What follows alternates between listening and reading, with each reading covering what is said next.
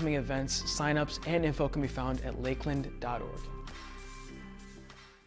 If you could spend one evening with Jesus, would you want to? The Bible dedicates five entire chapters to one evening with Jesus as he prepares his disciples to carry out his mission. Join us as we explore what he has to say in the upper room. Good morning. How are you guys doing? Good? My name is Seth. I'm the youth pastor here, and uh, I am so excited about being able to deliver the message today. The, um, I don't always get to see you guys a couple times a year, but uh, I am just so excited to be here, and I have something that I think that the Lord has for all of us that is going to, if we allow it, drastically change the way that we view suffering and joy in our life. And uh, so we've been uh, going through, uh, it feels like the book of John since January, but it's really only been a couple of books in John. Of 21 books, five of them have to do with the upper room. That's a pretty staggering number that have to do with just one place, one night in the life of three and a half years of ministry that Jesus was here. And so if John's focusing on this one night, there had to be some really important things. And if you haven't figured it out, we started in January with this series, and we're leading you up to Easter. And so uh, we've only got a couple more messages.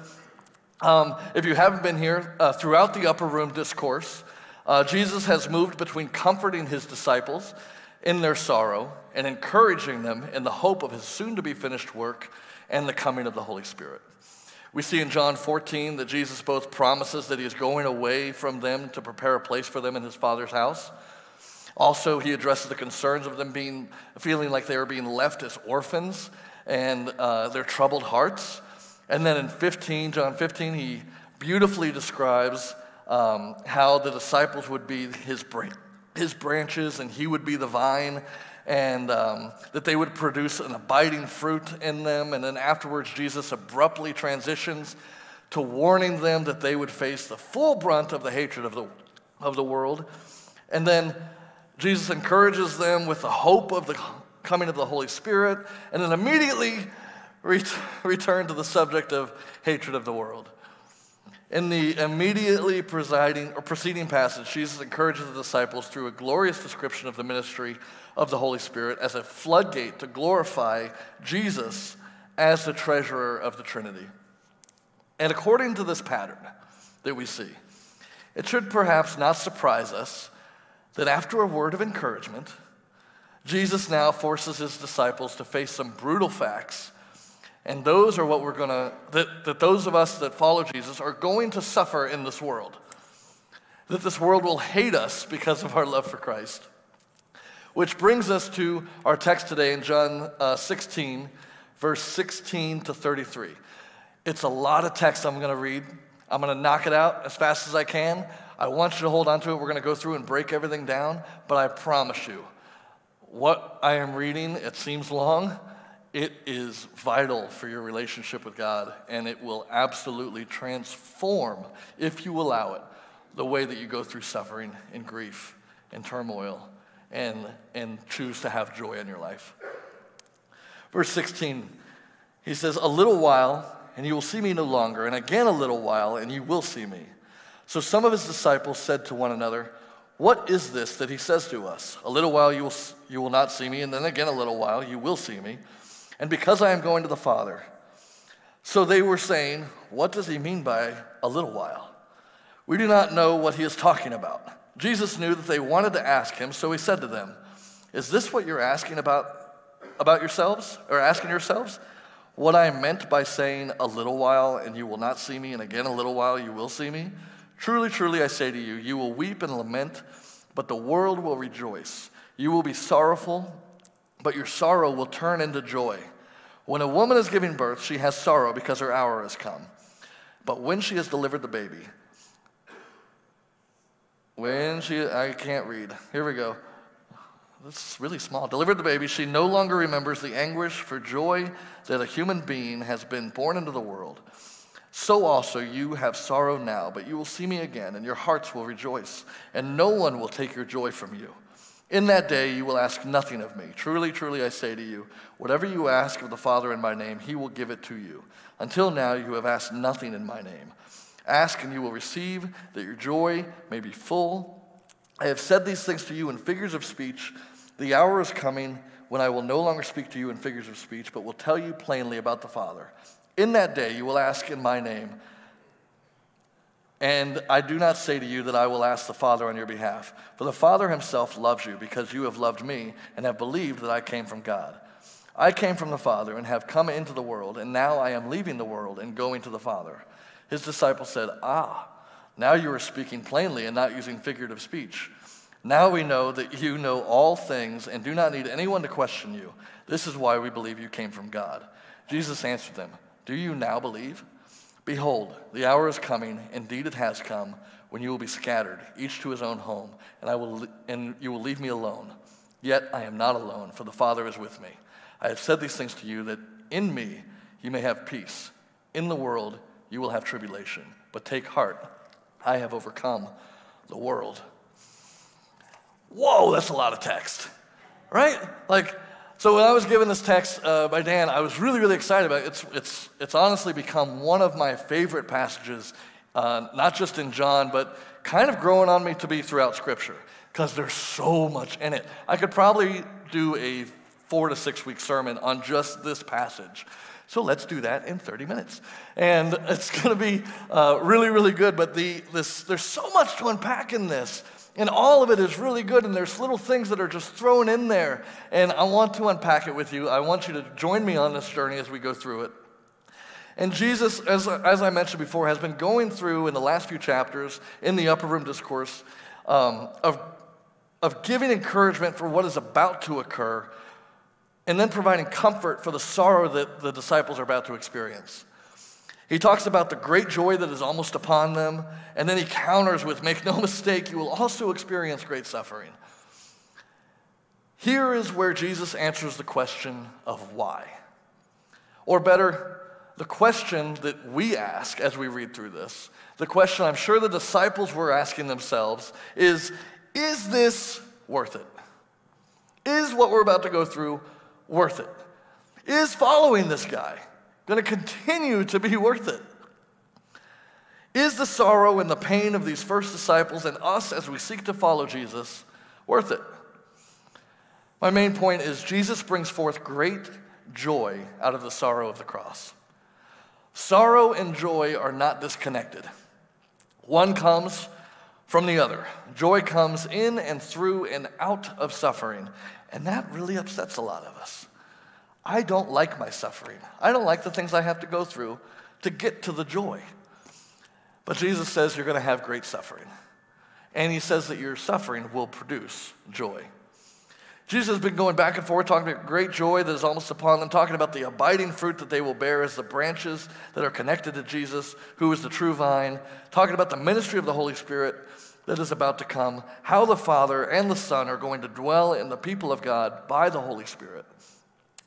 But then he also in, in 15, 18 says, If the world hates you, know that it has also hated me before it hated you. You would think that the last section, where we are, before we go into 17, where Jesus starts praying, that he would clarify things, that he would wrap it up in a nice little bow. But instead, he gives us an extremely complicated statement in verse 16. So confusing, in fact, that John talks about the disciples being confused in the next three verses. He says, In a, a, little while, and you will see me no longer, and again a little while, and you will see me. What? I read that and I was like, okay, let's get to the next part so I can find out what he's saying. Because I'm sure, and I'm sure the disciples are like, what did he just say? And so John sort of captures the confusion of the disciples as they wrestle with what Jesus had just said. And the disciples are right there in the small room with Jesus. You can probably see them whispering with one another and trying to figure out what exactly he was saying. No one is brave enough to actually ask Jesus the question they are all thinking. So Jesus goes ahead and answers their question. I love it when Jesus does this. He sees right through what our questions are in our head, and he's like, I'm going to answer you. He says, Truly, truly, I say to you, You will weep and lament, but the world will rejoice. You will be sorrowful, but your sorrow will turn into joy. Jesus is saying that you are about to weep and lament because I am about to die. He says, In a few hours, I will be betrayed, arrested, tried, convicted, humiliated, mocked, spat upon. My beard will be pulled out. I will be beaten, nailed to a cross, where I will hang for several hours before I give up my last breath. And you are going to be cut to the heart because of it. And he says, What will add ghastly insult and injury to you is that the world will not join you in your sorrow. In fact, the world is going to rejoice in the midst of your sorrow. He says, My death will be a cause of celebration. And in fact, in this culture, like it was a very mournful culture. Like if you if you understand anything about the Jewish culture, like if you didn't have enough people around you to weep and mourn and gnash their teeth whenever you whenever someone in your family died, you were supposed to pay people to come and do that. Who wants that job? I can go cry all day long at funeral homes and getting paid for it. Like, I'm not going to do it just for fun. That's just emotional. But that's what they paid people to do. If you didn't have enough people, you had to pay people to come and mourn at your brother in law's funeral. That's just kind of crazy, right? And what Jesus is saying here is no one's going to mourn my death. He says, in fact, they're going to rejoice in the midst of your sorrow. The world will rejoice while you grieve over me. And I'm sure they're asking the question again is it worth it? The cross will not be in vain, is what Jesus is saying. The pain, the suffering, the anguish that Jesus experiences and that they will experience will not be in vain. And then he goes into this beautiful explanation of uh, a woman giving birth. He says, When a woman is giving birth, she has sorrow because her hour has come. But when she has delivered the baby, she no longer remembers the anguish for joy that a human being has been born into this world. I'm not going to lie, I was praying hard for Coley to have that baby this week because it would be such a cool message. Like, I was like, sermon illustration, come on. And she's like, stop. Started talking like certain movies. Stop that right now. I can say that because she's at home watching where I'm safe. And, but she is 38 weeks, 13 days away from baby Israel coming into this world. Pray for me, y'all. Pray for her. We are so excited. But as we're getting excited, we know that what he's talking about is, is a woman who's going through labor and her sorrow will not be fruitless. The pain is not unproductive. It's not in vain. The sorrow tracks directly with the joy. And as bad as this suffering is, as afraid for my wife as I am.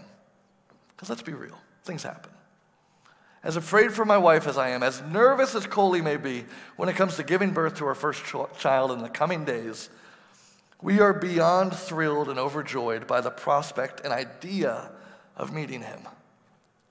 Just like every other woman who has ever given birth and every father who has walked through the delivery process with them, the immense anguish and pain of childbirth and fear and anxiety that the father has to swallow and stay strong through will be immediately replaced by immeasurable joy for holding our child for the first time. Suffering is not fruitless. Suffering is not unproductive. Suffering is not pointless. And I think you would agree, like when it comes to childbirth, I've never heard a woman say, wasn't worth it. Never heard a woman say, I gave birth to that baby. I could not stand it. That baby was the worst mistake I ever made by giving birth to it. Never heard it. Most women that I have, I have communicated with, and even those that have gone through hardships in pregnancy, trauma in pregnancy, which let's just be real, pregnancy in itself is trauma. Most women would say that they would give themselves up for that baby to survive. They would rather that baby live on than for them to live and the baby not live. Suffering is not fruitless. Suffering is not unproductive. Suffering is not pointless. And even through the cross, it will bring joy. It is doing something. Can you bring me my water, Brittany? Thank you. Jesus is saying that the cross will not be and was not in vain.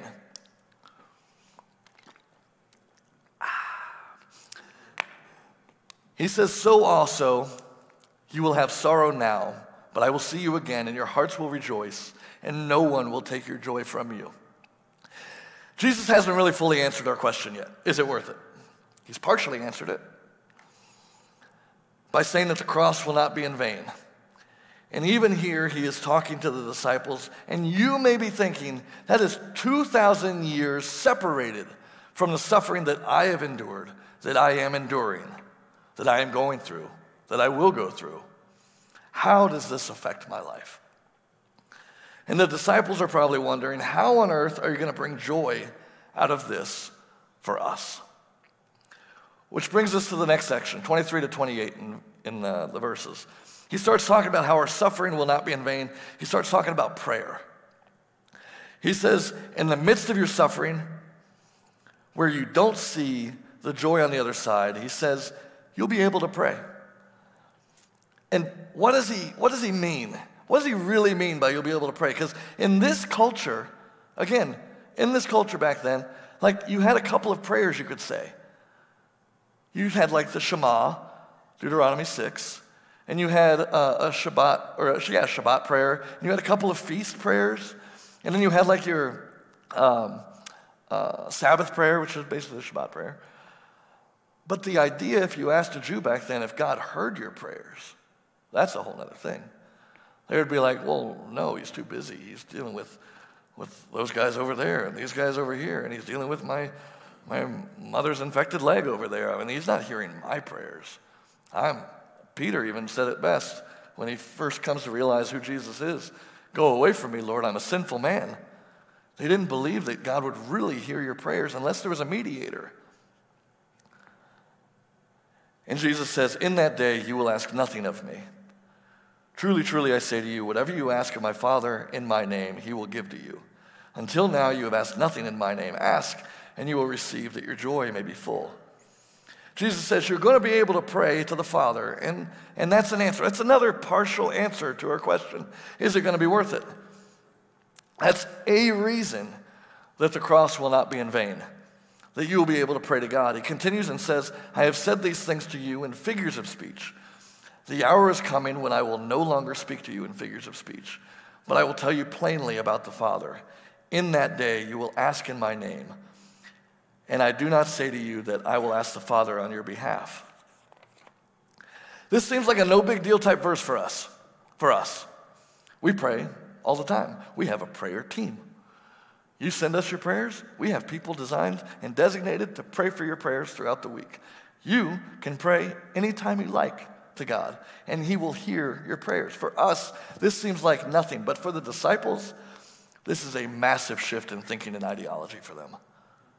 He says, You're going to ask the Father in my name. He wants to make it crystal clear that something is going to change, something is different, something is going to be new. Mainly, that Jesus will not be the one who takes your request to the Father while you wait outside.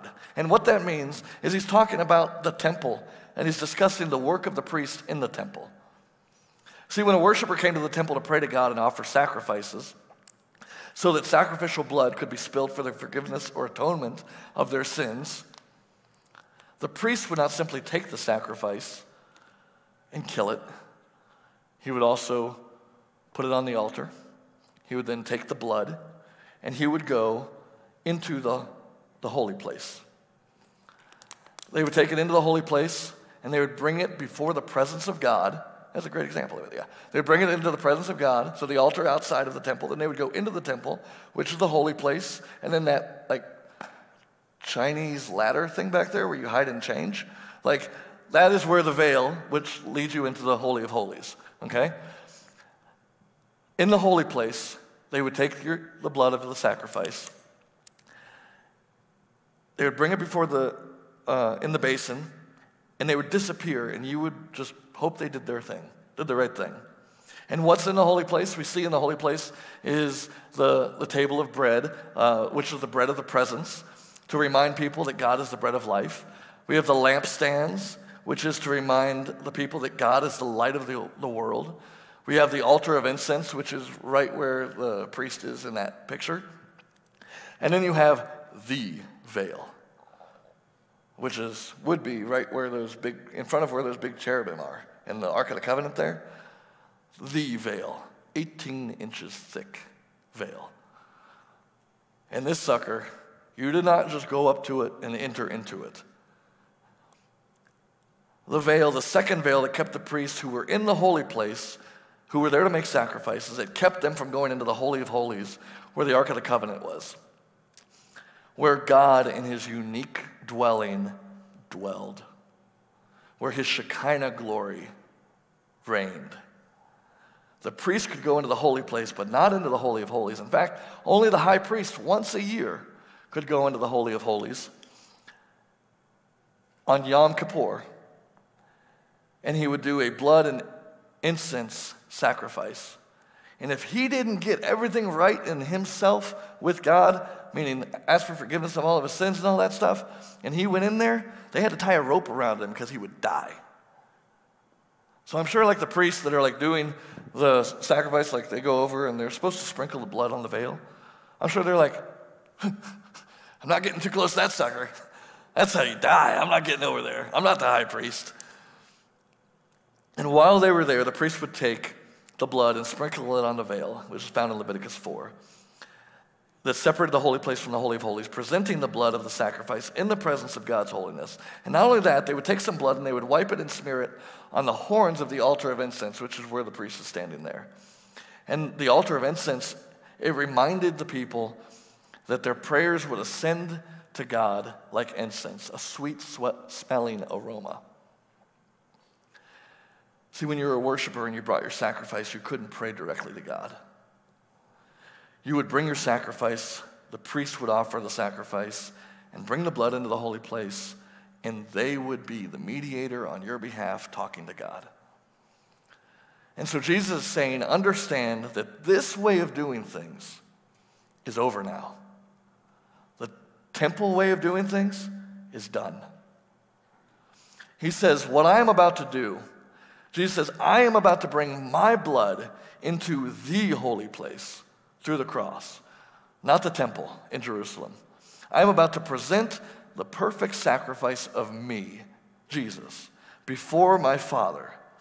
I have to ascend to my Father to bring before him the perfections of my sacrifice. Why? So that he may hear your prayers. And through my perfect priestly work on the cross, you are no longer an outsider who is incapable of praying to God. You are now priests who can come directly before God in the holy place and present your prayers to God. And what's more, you can now enter into the Holy of Holies and experience the presence of God. So, when do we enter the Holy of Holies? How do we experience the Holy of Holies? How do we experience the presence of God? And what Jesus is saying here is through prayer to God, we enter into his holy presence and experience him. What Jesus did was he made it so you didn't something that happened once a year. Man experiencing god's presence once a year now can happen every single day at yours and god's discretion which is crazy to think about. And that's again an answer to our question is it worth it we no longer need a go between to pray on our behalf we can pray directly to the father Jesus is saying that his priestly work is so perfect that you're going to come into the presence of the Father. In verse 27, he says, For the Father himself loves you because you have loved me and have believed that I came from God. And in Hebrews 9 23, it, it sums up what I just basically said. It says, Thus it was necessary for the copies, the temple, of the heavenly things to be purified with these rites, but the heavenly things themselves with better sacrifices than these. For Christ has entered not into holy places made with hands, which are copies of the true things, but into heaven itself, now to appear in the presence of God on our behalf. nor was it to offer himself repeatedly as the high priest enters the holy place every year with blood of its own. Blood not of his own, I'm sorry. For then he would have to suffer repeatedly since the foundation of the world. But as it is, he has appeared once for all for all the end of the ages to put away sin by the sacrifice of himself. And just as it is appointed for man to die once, and after that comes the judgment, so Christ, having been offered once to bear the sins of many, will appear a second time, not to deal with sin, but to save those who are eagerly waiting for him. Jesus says the cross will not be in vain because the cross will remove the veil. No longer will you have to work through a mediator who goes behind the veil on your behalf. Understand that this is what happened when Jesus died. The veil was torn from top to bottom in that temple. Physically torn, but spiritually torn as well. This is why it must happen so that you can be reconciled back to the Father. Jesus is saying, I have to go through this so that you can have relationship with the Father, so that you can have conversations with God, just as Adam and Eve did in the garden, so that you can be reconciled back to the Father and have relationship with the Father, just as Adam and Eve did. I always love reading in, in Genesis when God would walk with Adam and Eve in the cool of the day. Like, what is that? What did that look like? Like, I would love an, uh, and a good artist to find a way to depict that. Because I imagine it was like them walking hand in hand, like me and Coley do when we walk around the mall, but like God in between them, but around them. I mean, what did that look like? I mean, how cool would that have been? Like, it's two o'clock, and there's the Lord. Let's go. And I mean, ding dong, like it's Jesus. Like, how does that work?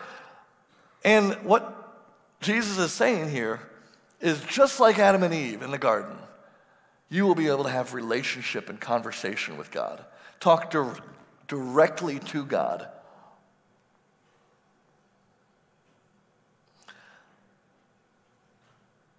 He says you don't have to wait outside the temple anymore. He says you don't have to hope that the priestly mediation on your behalf was successful. He says his priestly mediation will be that perfect for us. And that's the start of Jesus answering the question is it worth it? That's another comfort, right? Jesus is comforting his disciples through discussing this and saying, You're going to be able to pray. You're going to be able to talk directly to the Father. Uh, in 2008, my aunt passed away. And uh, we were in the hospital when she passed. And um, I, was, I was there when she breathed her last breath, and my grandparents were there, my dad was there, a lot of my family was there. The choir was there in the room singing and singing her into heaven. It was really cool.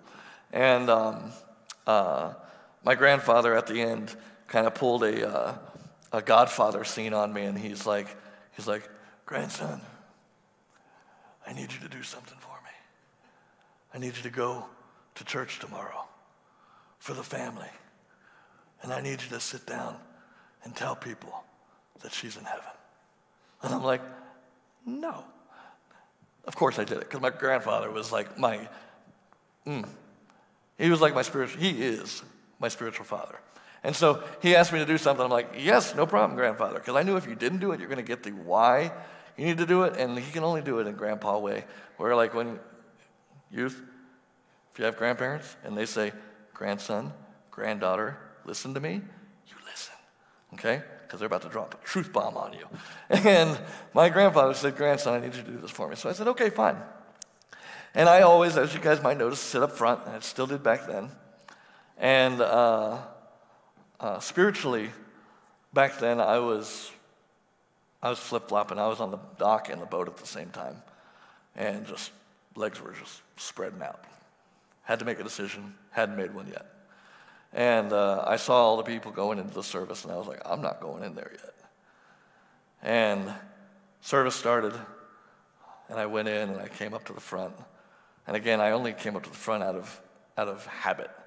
I wanted to sit back there. I should have sat back there. But God was going to do something. It was pretty amazing what He did. And so she was in the choir. My grandparents were in the choir. I, at one point, was in the choir. And so I'm very close with the people that are up there. And they're up in the, in the choir loft, and they, they're going to sing like an offertory song, but it's just regular worship and praise and worship now.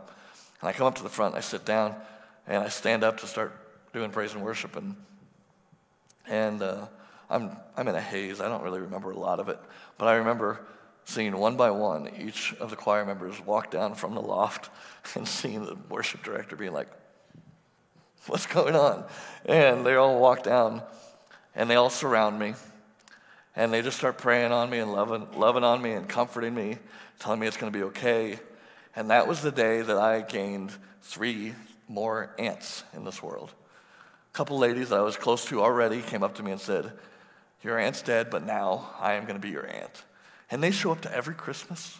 They show up to every Easter, Thanksgiving, every family event we have going on for years. We can't get rid of them. They are amazing. And the comfort that not only those three, but the whole choir poured on me is what I imagine Jesus is doing to his disciples right here. And the difference between what I went through and the comfort and what they went through is this is the guy that spoke them into the womb, who knows every hair on their head, who spoke the earth into existence with the flicker of his tongue. And he's telling them, I'm comforting you. Like, you got to feel comforted when that guy is comforting you, right? And what this passage says to us is that all those who look to Jesus, you don't have to find your own way into the presence of God. You don't have to stand before God on your own. In fact, Jesus has suffered the deepest agonies of Golgotha and suffered the deepest agonies of the cross for you so that you could be forgiven because the Father sent him into the world to do that, to die for you so that the Father who loves you could have relationship with you. The cross will not be in vain because the cross will remove the veil. Another thing the cross will do is it will bring victory. He says the cross will bring victory. The cross will bring victory over the world. The disciples in verse 29 get a little full of themselves, I think, and they start to think that they have it all figured out. They start speaking crazy and acting like they understand all the things that's about to transpire.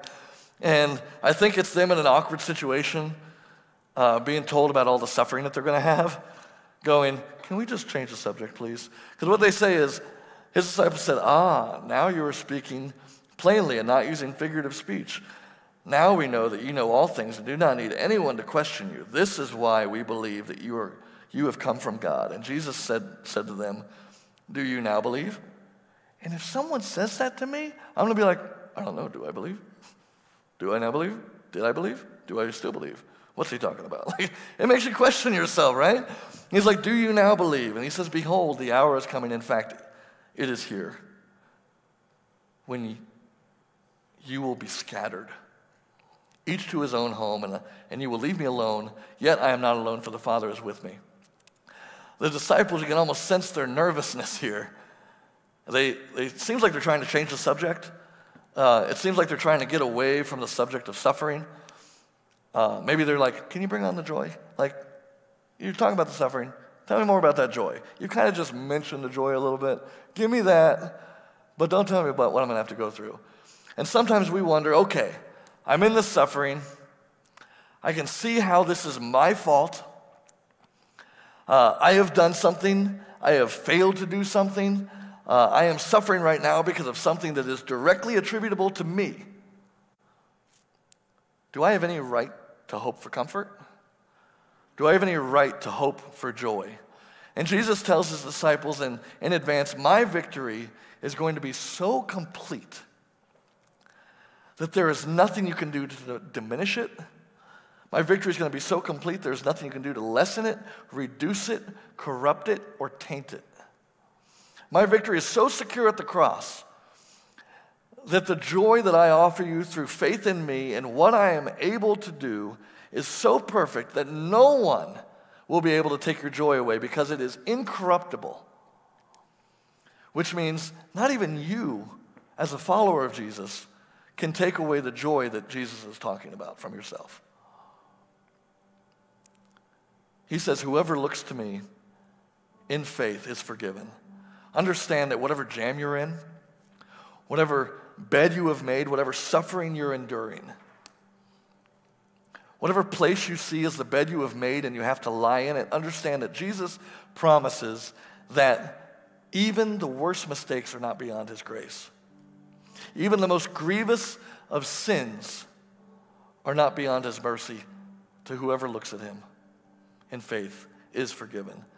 Not only are you unable to diminish his victory, but the world is not able to either. He says, I have said these things to you that in me you may have peace. In the world you will have tribulation, but take heart, I have overcome the world. If you are a follower of Jesus, you will experience the hatred of this world. You will experience the furies of this world. You will experience the suffering that occurs in this world. The world will unleash its hatred on you because you dare to follow Jesus. And Jesus says, Take heart, for he has overcome the world. And the word overcome is the Greek word nikos, which is also the word for victory. But the grammar used in this statement does not imply a single victory in the past. The grammar used in this statement is a continuous and abiding victory. So, therefore, the idea that this Greek word presents is this not just, I have overcome the world. It is, I have overcome the world, I am still overcoming the world, and I will always be in an overcoming position of the world. The cross will not be in vain because the cross will remove the veil and the cross will bring victory over the world. And this is good news in the midst of our suffering. It really is. But these answers are still only partial answers to our question. I can see this for the disciples where they have to watch their master crucified in front of them, the one they had given up everything. And now it seems like to them he's taking himself out of the picture. He's taking his chess, his, his piece off the chessboard. If he knows what's going to happen, certainly he can change what's going to happen. Like, if I know they're coming to arrest me here, I'm going over there. Certainly he could change it, right? And it seems like he's taking himself off the map. And that's where the disciples probably are. But what about us? That's not my issue. I wasn't there. I wasn't there to experience Jesus' earthly ministry. What about my issues? What about my stuff? What about my suffering? Is it worth it? Is my suffering worth it? Is it doing something? Remember when Paul is pleading for his suffering to be taken away? Three times he pleads God to remove his suffering, and three times God answers, My grace is sufficient for you, and my power is made perfect in your weakness. And in 2 Corinthians 12 9, it continues and says, Therefore, I will boast all the more gladly of my weakness, so that the power of Christ may rest upon me. May rest upon me. What he's, it's tabernacle imagery that he's using there. He's saying, so that the power of Christ may rest upon us, may rest upon me, may tabernacle himself upon me. And what does tabernacle mean? It's where God resides, where God rested. Where, the, where is the indwelling power of God? God says it's not in the high places of this world. It's not in the strength and the power as this world knows it. The power of God, the indwelling presence and glory of the power of God is in our suffering. That is where God becomes most real to us. In our suffering is where God gives us the kind of grace that we can't experience when things are going really, really well in our lives. God gives us a special and unique grace. He tabernacles His glory on us in the midst of our suffering, He pours it out. Which uh, I think is what Jesus is saying in verse 32. And, and so I, I have Facebook and Instagram and all that stuff, and I pay attention to what you guys post. Okay? No one's in trouble. I pay attention to what you guys post, and sometimes you never know what's going to be used in a sermon illustration. Kim Anderson posted something like, a day or two ago. And I was, this message has been on my mind for weeks and weeks and weeks, but I was like, that's perfect for my message. And so I didn't have time to get it on a slide or anything, but it's from a lady named Sally Clarkson. Who's heard of Sally Clarkson? She's an author. I've never read any of her stuff. I'm going to start though because she's just got book after book after book after book after book. Great book on parenting that I've, I've heard about, haven't read it. Again, amazing, but this quote just like hit me right in the heart. She says, To dance in the midst of terrible suffering is to resolve, I will not be a victim. I will not allow the situation to determine the response of my heart because I have this life, this chance to trust God, to show His reality through my circumstance. I resolve to remain strong and faithful because of the loving God who holds my hand. Each of us must make a choice from our heart before God. No matter what my life holds, I will choose with the eyes of my heart to see your goodness, to trust you in all seasons of life, to seek to dance with you in the joy that you have provided me. Wow. I was like, that's my sermon in a nutshell. Like, she took a paragraph and a half and summarized 15 pages. That's why I love authors. They, they take the long winded guy, make it real simple. Jesus says, I am not, yet I am not alone, for the Father is with me. I used to think that the suffering and the joy part, you will have great suffering, but I will bring you joy. I used to think that was the central theme of this passage. And it's not that it's not. I'm sure most theologians would agree. But I think this, this little sneaky verse that's just thrown in there, is the central theme to what Jesus is saying to his disciples. He says, Yet I am not alone, for the Father is with me. The Father was with Jesus in this entire thing. The power of God to overturn empires, the power of God to cover the darkest, most wicked sin. The power of God was fully on display, not in the kings and rulers and principalities of this, of this world, but it was on full display through the suffering of a bleeding, anguished, dying man on a cross. The power of God was revealed at the cross. And God's promise of us having joy is found in verse 32. That just as Jesus walked through suffering and knew his heavenly Father was with him, when you walk through suffering, you can take heart and rest in the knowledge and have joy in the fact that the creator of the cosmos the one who spoke the world into existence with his mouth, and the one who chose to jump off the balconies of heaven, live a perfect life, and die so that he could have the chance of relationship with you. You can have joy through your suffering because he is with you. He is walking beside you. He is at your front. He is at your rear. He is at your left and right flank. He is walking with you in the city and in the fields. He is with you through your suffering. And His Holy Spirit is filling you through your sorrow.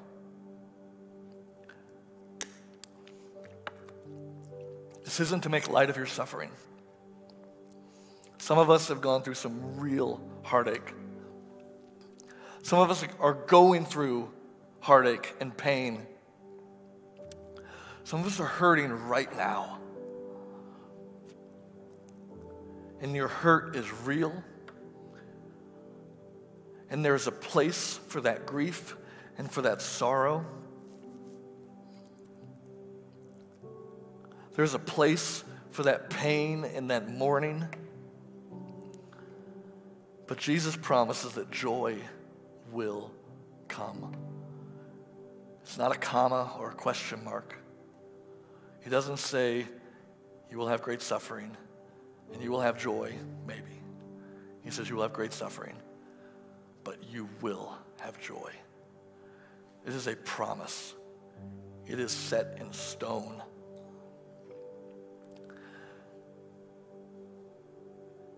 God is doing something with your sorrow. He is doing something with your pain. He is doing something with your grief. He is doing something with your anguish. So the question is it worth it? The full answer to our question is this The cross will not be in vain because the cross will remove the veil. The cross will bring victory over the world, and because of the cross, God is always with us, just as He was with Christ. If we could have our prayer partners come up and come forward, and, and the band come up, and I'm going to close with this, this quote from John Piper in a moment. But if you need to come forward and you need to claim your joy or leave some baggage at the foot of the cross, maybe you need to come and grieve with someone. Maybe you need to come and lay down some suffering and take home some joy. Maybe you just need to dwell in the suffering for a little bit, knowing the joy is coming. Maybe if it's your first time here or it's your hundredth time here, Maybe you need to make Jesus the Lord and Savior of your life. Whether it's the first time or it's the hundredth time doing it, I encourage you to come forward. And if it's your first time or hundredth time doing that, I encourage you to make it your last time. Make it your last time that you come forward to ask for God to forgive your sins and come into your life.